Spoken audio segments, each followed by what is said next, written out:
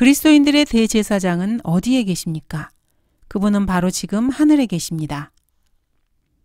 이 대제사장의 책무는 이렇습니다. 그러나 그리스도는 다가올 선한 것들의 대제사장으로 오셔서 손으로 짓지 아니한 곧 이러한 건물이 아닌 더 크고 더 온전한 성막을 위하여 염소와 송아지의 피로 아니하고 오직 자신의 피로 한 번 성소에 들어가셔서 우리를 위하여 영원한 구속을 이루셨느니라. 이는 그리스도께서 실물의 모형인 손으로 만든 성소에 들어가지 아니하시고 바로 그 하늘 자체에 들어가셔서 우리를 위하여 하나님의 면전에 지금 나타나 계시기 때문이라. 그리스도께서는 하늘 자체에 들어가셨습니다. 심지어 오늘날에는 기독교 방송이나 기독교 TV 등에서 하늘나라로 가고 있다고 하는 그리스도인들을 조롱하면서 그리스도인들이 사실 실제로는 하늘나라에 가는 것이 아니라고 가르치기도 합니다. 여러분들 중에서 혹시 그런 데다가 헌금을 드리고 있는 사람이 있다면 하나님께 죄를 자백해야 합니다. 그런 사람들은 그리스도인의 믿음을 파괴시키면서 하늘은 실제 장소가 아니고 지옥도 실제 장소가 아니고 마음의 상태라고 주장합니다. 이들의 주장이 맞다면 히브리서 9장 24절은 도대체 어떻게 된 것입니까? 이는 그리스도께서 실물의 모형인 손으로 만든 성소들에 들어가지 아니하시고 바로 그 하늘 자체에 들어가셔서 우리를 위하여 하나님의 면전에 지금 나타나 계시기 때문이라. 주 예수 그리스도께서는 바로 지금 하늘 자체에 들어가서 하나님 아버지 면전에 계십니다. 하나님께서 하늘나라에 임재하고 계시다고 이 구절은 말씀하고 계십니다. 그리스도인들이 바로 셋째 하늘에 그리스도와 함께 하나님의 임재 가운데 천상에 앉혀져 있습니다. 이곳이 바로 하늘의 초소입니다. 이 세상에 그 어떠한 권세나 정사, 능력이 결코 닿을 수 없는 곳, 다가올 세상에서도 그 어떤 것도 결코 닿을 수 없는 곳, 하나님의 보좌 우편, 바로 구주께서 계신 그곳을 그리스도인들은 알고 믿고 사모합니다. 사람이 죽으면은 그 사람의 혼이 몸에서 분리됩니다. 흙으로 만들어진 몸에서 혼이 빠져나오는 것입니다.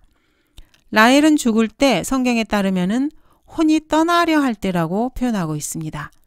바울은 죽음이 가까웠을 때 떠날 때가 이르렀다고 말하고 있습니다. 그리스도께서도 떠나셔서 하늘로 가셨습니다. 엄격하게 자세하게 말하자면은 그리스도인이 영원히 살 곳은 하늘에서 내려오는 새 예루살렘 도성입니다. 그리스도인이라면 자기가 어디에 살게 될 것인지 이 정도는 알고 있어야 합니다. 그리스도인들이 거하게 될 곳은 하늘에서 하나님께로부터 내려오게 될 도성인 새 예루살렘 도성으로 예수님께서는 이 저택을 예비하기 위해서 처소를 마련하기 위해서 하늘로 들어가셨습니다. 이곳은 대저택입니다. 그리스도인들이 앞으로 살게 될 곳은 하늘에 계신 주님과 함께하는 하늘입니다. 그리스도인은 지금 하나님의 오른편에 앉아 계신 예수님과 함께 영으로 천상에 있습니다. 하늘에 갈 수 있는 사람은 아무도 없어요. 그리스도인이 하늘로 간다고요? 이렇게 말하는 사람 모두가 다 어리석은 사람들입니다. 바울은 셋째 하늘에 끌려 올라갔다가 다시 살아나기도 했습니다. 정령 자랑하는 것이 나에게 유익하지 못하나 내가 주의 환상들과 계시들을 말하리라. 내가 14년 전에 그리스도 안에서 한 사람을 알았는데 그가 몸 안에 있었는지 나는 말할 수 없고 몸 밖에 있었는지 나는 말할 수 없지만 하나님께서는 아시느니라. 그 사람이 셋째 하늘로 끌려 올라갔느니라. 내가 이런 사람을 아노라. 그가 몸 안에 있었는지 몸 밖에 있었는지 나는 말할 수 없지만 하나님께서는 아시느니라. 그가 낙원으로 끌려 올라가서 말로 다 설명할 수 없는 말을 들었는데 그것은 사람들에게 말하도록 허락되지 않은 것이로다. 내가 이런 사람에 관해서는 자랑하겠으나 나에 관해서는 약하다는 것 외에는 자랑하지 아니하리라. 성경을 믿는다고 고백하고 스스로 신실한 그리스도인이라고 생각하는 사람들이 신문이나 방송에서 죽으면 하늘나라 간다고 믿는 그리스도인들을 광신자 취급하는 것을 보면서도 왜 가만히 있고 분노하지 않는 것입니까? 바울이 루스트라에서 돌에 맞아 사람들이 죽은 줄 알고 거리에 버렸을 때 바울은 셋째 하늘로 끌려 올라가서 하나님을 사랑하는 자를 위해 예비해 두신 그 거처를 직접 본 것입니다. 사도 바울 역시 하늘로 이끌림을 받아서 새 예루살렘을 보았습니다. 그리스도께서 그가 오셨던 곳으로 다시 되돌아가셨을 때 주님은 하늘로 올라가셨습니다. 하늘나라는 실제하는 곳이고 이것에 대해서 의문을 품고 회의를 품는 자들에게 놀림을 당하지 마시기 바랍니다. 예수님께서 가신 곳은 실제 존재하는 하늘입니다. 예수님께서 가신 곳은 실제 존재하는 하늘나라 셋째 하늘입니다. 우주의 정상에 가신 것입니다. 그리스도께서는 하늘나라에서 우리를 위해 하나님의 면전에 거하십니다. 우리를 위해라는 말은 주님 자신의 사람들, 그리스도인들을 말합니다. 우리를 위하여 하나님의 면전에 지금 나타나 계시기 때문이라. 그리스도께서는 또한 이렇게 기도하셨습니다. 내가 그들을 위하여 기도하나이다. 나는 세상을 위하여는 기도하지 아니하고 다만 아버지께서 내게 주신 자들을 위하여 기도하나이다. 예수님께서는 우리 그리스도인들을 위해서 기도하고 계십니다. 참으로 놀라운 구절이 아닙니까? 구원의 영원한 보장을 의심하는 카톨릭 교인이나 개신교에 있는 사람들은 자신이 구원을 받았는지 받지 않았는지도 모르면서 받고 싶다든지 받아야 할 텐데 말하면서 소망할 뿐입니다. 이들은 언제나 마태복음, 사도행전, 히브리서 근처를 얼쩡거리면서 용서받지 못할 죄에 대해서 걱정을 합니다. 여러분이 구원받은 그리스도인이라면 예수 그리스도께서는 항상 여러분을 위해서 지금도 기도하고 계십니다. 어떻게 구원받았다고 하면서 이러한 사실조차도 모를 수가 있는 것입니까? 예수님께서 늘 기도하시는 대상 중에 지옥에 간 사람이 있다고 생각하십니까? 어, 유다가 있잖아요. 이렇게 말할 수도 있습니다. 유다는 그런데 사람이 아니고 마귀였습니다. 그리스도께서는 요한복음 17장에서 이렇게 말씀하십니다. 내가 그들을 위하여 기도하나이다. 나는 세상을 위하여는 기도하지 아니하고 다만 아버지께서 내게 주신 자들을 위하여 기도하나이다. 이는 그들이 아버지의 사람들이기 때문이니다. 나의 모든 것은 아버지의 것이오며 또 아버지의 것은 나의 것이옵니다. 그리하여 내가 그들 안에서 영화롭게 되었나이다.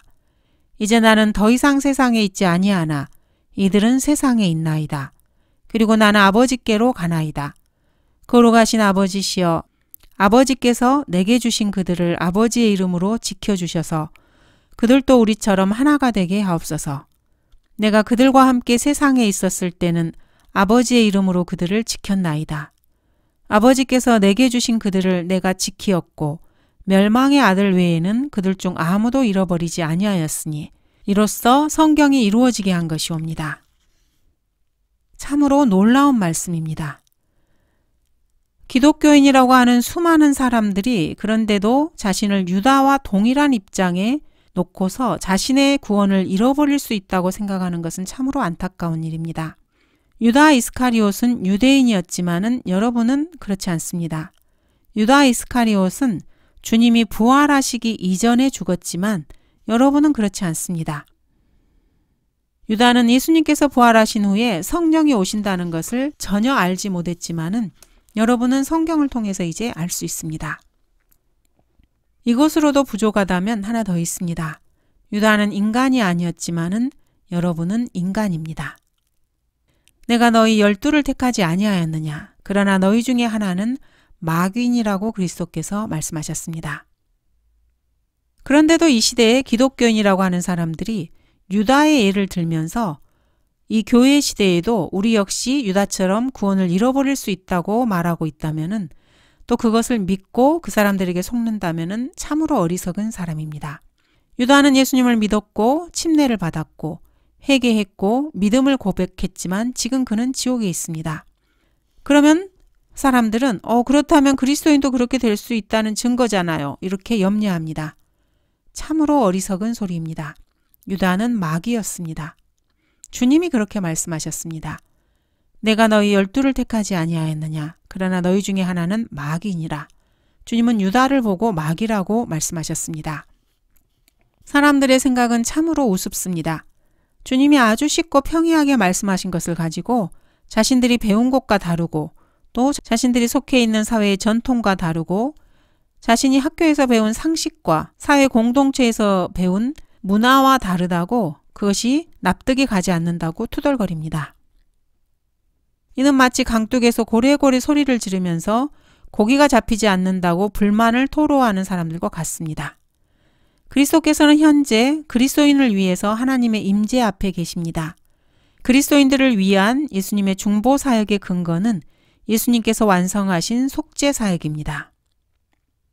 헤브리서 9장에서 주님께서는 자신의 피로 한 번 성소에 들어가셨다고 나옵니다. 요한복음 17장에서는 예수님은 사역의 완성에 대해서 자주 말씀하셨습니다. 여러분이 구원을 받았든지 구원을 받지 않았든지 이러한 말씀에 의심이 된다면 먼저 자신의 문제를 해결할 수 있어야 합니다. 먼저 구원을 위해서 자기 자신의 어떠한 행위도 선행도 신뢰하지 마시기 바랍니다. 미사, 경험, 성령 체험, 방언, 축사, 병고침 등을 신뢰하지 말고 그 어떠한 교회나 목사도 신뢰하지 마십시오. 여러분의 혼을 하나님의 말씀과 여러분의 죄를 위해서 피 흘리신 주님의 완성된 사역 위에 두시기 바랍니다.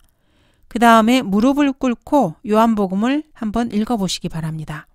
그런데도 구원받은 줄 모르겠다면 다른 방법이 없습니다. 그리스도께서는 하늘에 계시고 하나님의 임재 앞에 계시며 하나님 우편에서 그리스도인들을 위해 중보하고 계십니다.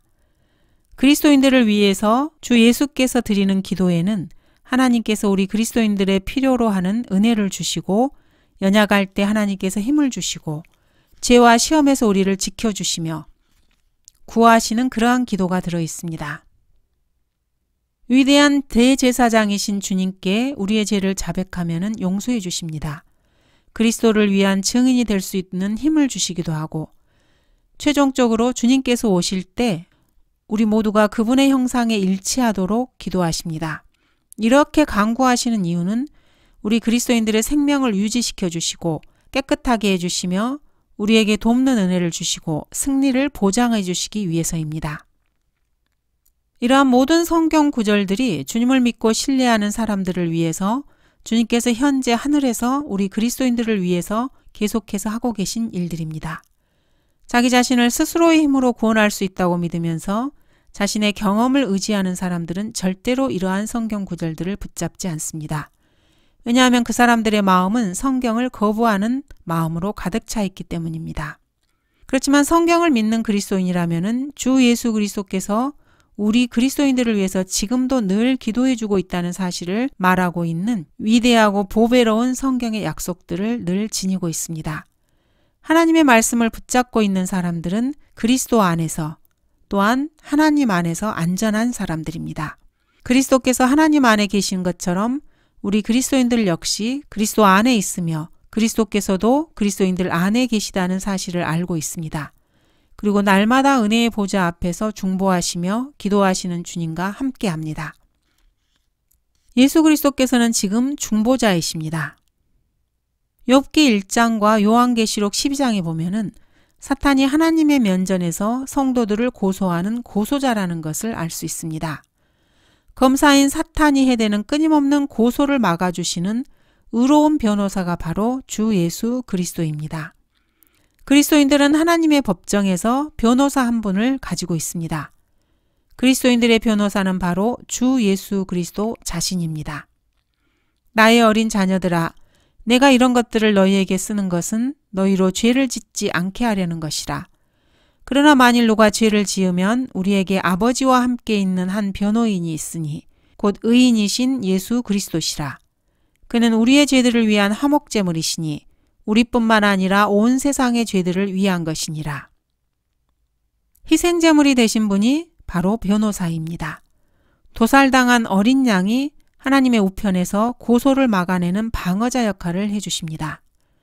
그리스도인들이 죄를 지을 때 주님께서는 갈보리에서 완성하신 자신의 속죄 사역에 근거해서 우리를 위해 강구해 주십니다. 그의 아들 예수 그리스도의 피가 우리를 모든 죄에서 깨끗하게 하시느니라. 참으로 위대하고 귀한 약속입니다. 우리가 우리 죄들을 자백하면 그는 즉 위대하신 대제사장이면서 사도들의 통치자이신 그분께서는 신실하시고 의로우셔서 우리 죄들을 용서하시며 모든 불의에서 우리를 깨끗하게 하신다고 약속하셨습니다.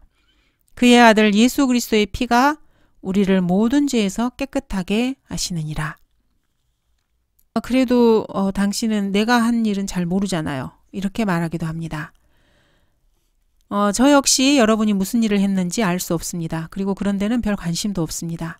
주님 역시 마찬가지입니다. 주님께서 관심을 가지고 계신 것은 여러분들이 하나님께서 제시하신 그 치유책을 받아들였는가 그렇지 않는가입니다. 아, 나는 못쓸병에 걸렸어요. 근데 내 잘못이 아니에요. 부모로부터 물려받은 거예요. 제 책임이 전혀 없어요. 이렇게 말하는 사람이 있다고 해봅시다. 주님께서는 그 문제에 관심이 있는 것이 아닙니다. 그 병이 치유될 수 있는 것이라면은 여러분이 그 치유책을 받아들였는지 아닌지에 관심을 가지고 계십니다. 여러분이 어떠한 상태에 지금 처해 있고 어떻게 하다가 그렇게 되었는지 아무리 설명하고 변명하고 아무런 희망도 없고 도움도 없다고 아무리 말해도 소용이 없습니다. 인간은 모두가 다 아담에 속하며 모두가 다 타락한 성품을 물려받았습니다. 인간은 모두 타락했고 죄와 허물로 죽어버린 잃어버린 존재들입니다. 거듭나지 않으면 인간의 본래의 성품은 너무나도 쓸모없고 절망적입니다. 그렇지만 그리스도인들에게는 위대한 약속이 있습니다. 그의 아들 예수 그리스도의 피가 우리를 모든 죄에서 깨끗하게 하시느니라. 여러분이 할 일이라는 것은 이 약속의 말씀을 붙잡고 믿는 것입니다. 아, 그렇지만 내가 무슨 짓을 했는지 안다면 그런 말 못할걸요? 이렇게 말할 수 있습니다.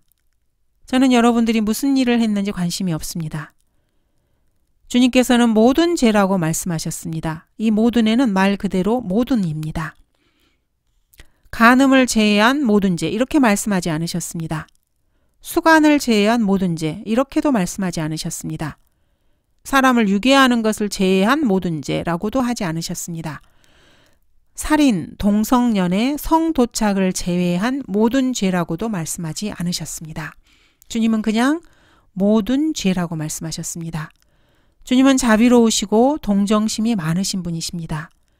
주님은 모든 죄에서 우리 죄인들의 죄를 사해 주십니다. 용서하시고 깨끗하게 해주십니다. 용서는 다소 소극적인 표현이지만 깨끗하게 하신다는 것은 아주 적극적인 표현입니다.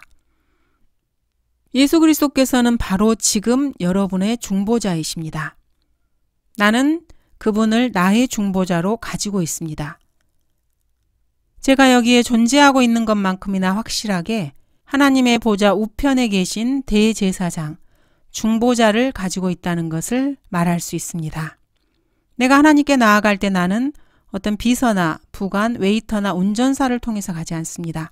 내 자신이 직접 언제 어디서나 아무 때나 주님 앞에 나아갑니다. 방문을 열고 그분의 책상 맞은편으로 나아가는 것입니다. 그분이 바로 나의 아버지이시기 때문입니다. 마가나 요셉, 성모 마리아에게 나 좀 들여보내주세요. 이렇게 말하지 않습니다. 누군가가 나에게 잠시만 기다려 주시겠어요? 이렇게 말하지도 않습니다. 대기실에서 대기하라고도 하지 않습니다.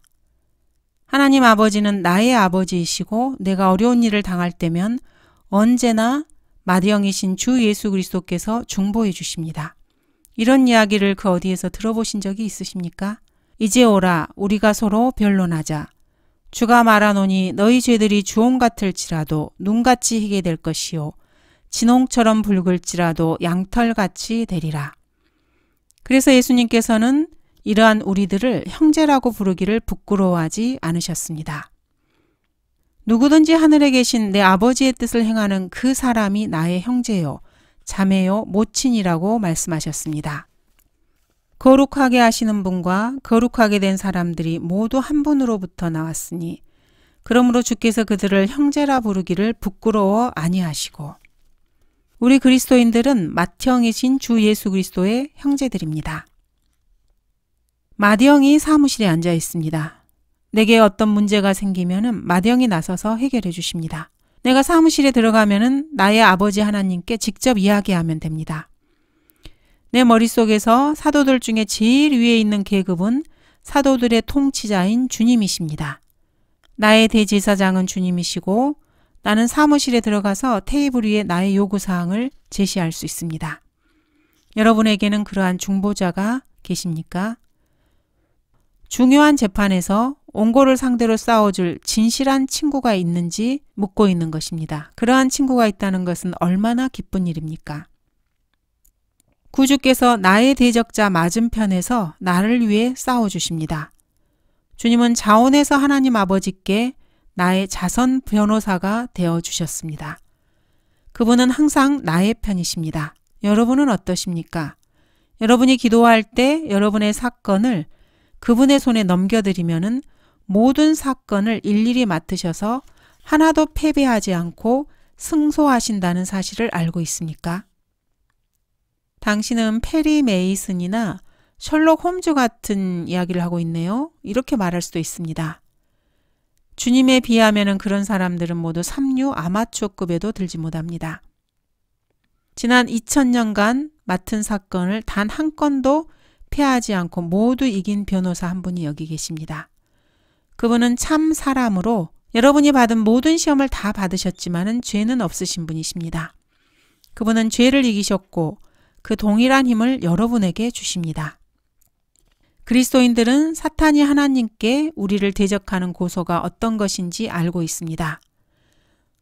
사탄이 하나님께 우리를 대적할 때, 고소를 할 때 어떤 것은 사실 사실입니다. 하지만 많은 것은 거짓일 수 있습니다. 잘못된 고소를 하기도 합니다.